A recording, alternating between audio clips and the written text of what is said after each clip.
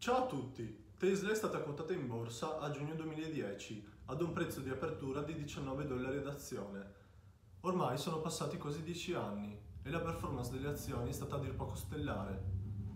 Infatti chi avesse comprato 1000 dollari di azioni Tesla il giorno della IPO ad oggi avrebbe 29.000 dollari. Chi invece fosse stato un po' più coraggioso e avesse comprato 10.000 dollari in azioni Tesla, oggi avrebbe 290.000 dollari. Infatti adesso Tesla vale 565 dollari d'azione. La corsa in borsa della casa automobilistica è stata degna di una Ferrari, ma come avrete intuito dal titolo del video, la situazione è a dir poco strana. Infatti la valutazione di Tesla ha raggiunto livelli astronomici.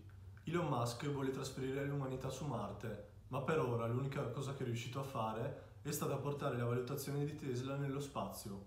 Ok, adesso bando alle ciance e diamo un'occhiata ai numeri. La capitalizzazione di mercato, cioè il valore totale di Tesla, è di 100 miliardi di dollari. Invece la capitalizzazione di BMW e Daimler messe insieme è di 95 miliardi di euro. Ferrari invece vale 43 miliardi, meno della metà di Tesla.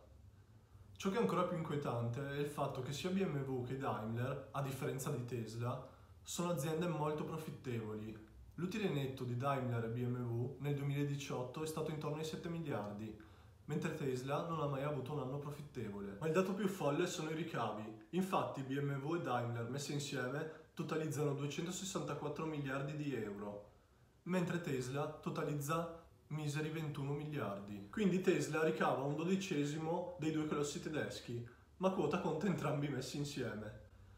Mm. C'è qualcosa che non quadra.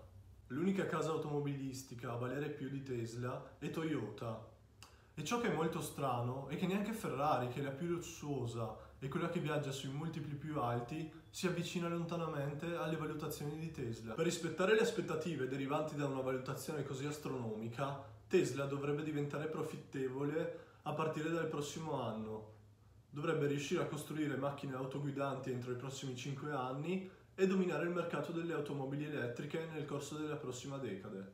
Voi pensate davvero che con la competizione delle case automobilistiche storiche come BMW, Daimler, Toyota, Volkswagen e tutte le altre, questa piccola azienda di Palo Alto riuscirà a raggiungere tutti gli obiettivi che il management millanta? Io ne dubito fortemente. Ma com'è possibile che la valutazione di Tesla sia così alta? Cosa spinge Tesla sempre più in alto? Sono le aspettative che Elon Musk è riuscito a creare. Infatti il mercato ha fiducia nel genio sudafricano, già capace di battere tutte le aspettative sia con PayPal che con SpaceX. Elon Musk è capace di far sognare il mercato. Infatti, a suo dire, nei prossimi anni Tesla sarà in grado di produrre camion elettrici, taxi autoguidanti e macchine autoguidanti e tutto ciò dovrebbe distruggere il mercato automobilistico come lo conosciamo noi oggi. Ciò che dà forza alle parole di Elon Musk sono i fatti, il suo passato. Infatti dal 2014 ad oggi le vendite di Tesla sono cresciute del 5700%, però le vendite dell'azienda americana non potranno crescere così in eterno e adesso pian pianino anche le grandi case automobilistiche iniziano a produrre le loro macchine elettriche e daranno una forte competizione alla casa americana. Al momento Tesla ha una netta dominazione del mercato delle auto elettriche e produce il prodotto migliore. La sua Model 3 infatti è una macchina fantastica. Però per quanto potrà durare questa dominazione, adesso che anche le grosse case automobilistiche come Volkswagen, Toyota, Renault, Peugeot si stanno tutte mettendo a produrre macchine elettriche, la situazione probabilmente cambierà. Quindi, a mio parere, considerando tutti questi fattori, la situazione è a dir poco inquietante. Perciò vi consiglio di fare molta attenzione se avete intenzione di comprare azioni Tesla, perché potreste farvi davvero male.